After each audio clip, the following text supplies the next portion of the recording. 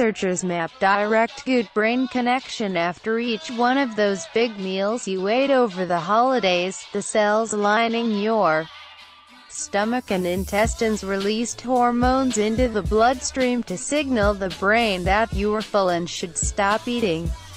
Researchers at Duke University have now mapped out another system, a cell-to-cell -cell connection between the gut and the nervous system, that may be more direct than the release of hormones in the blood.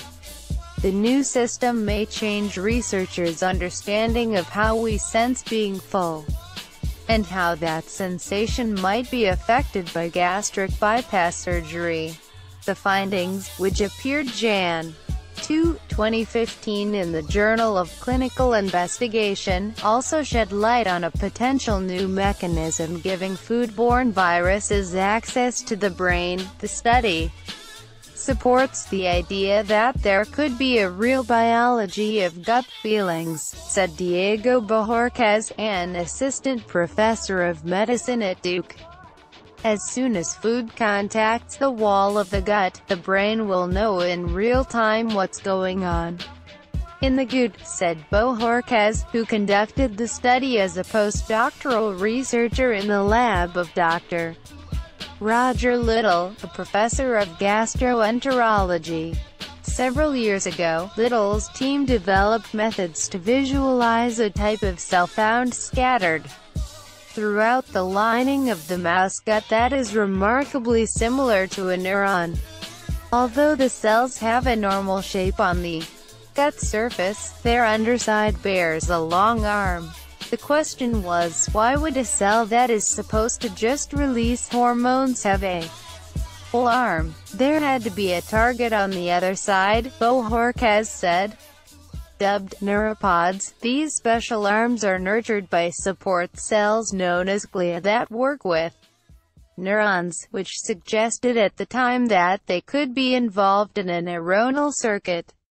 In the new study, researchers traced the contacts of the neuropods in greater detail, finding that they came close to individual nerve fibers, but not blood vessels, in the small and large intestine. They found that about 60% of neuropods contacted sensory neurons, supporting the notion that they could be involved in gut sensation. The group went a step further, showing that neuropods and neurons not only contact one another, but they connect. In a dish, single sensory neurons isolated from the brain reached out to contact a neuropod that was, on a cellular scale, about half a football field away. For us, that was a point of no return, Bohórquez said. It said that these cells know how to get closer to neurons, though how exactly is unclear. The connection was especially surprising because no one had ever cultured these cells in complete isolation from their neighbors, he added.